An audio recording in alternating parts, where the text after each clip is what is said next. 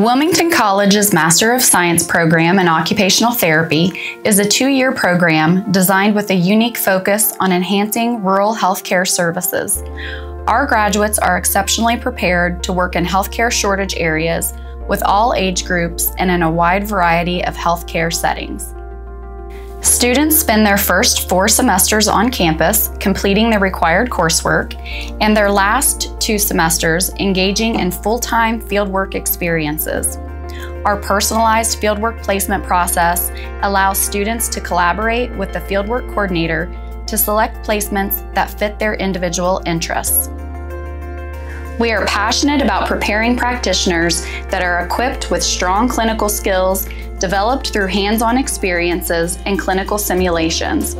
Our 1 to 12 faculty to student lab ratio provides ample opportunities for students to master the clinical skills required to practice. We welcome you to make a visit to campus, explore our website, and check out our social media pages to learn more about our exceptional program.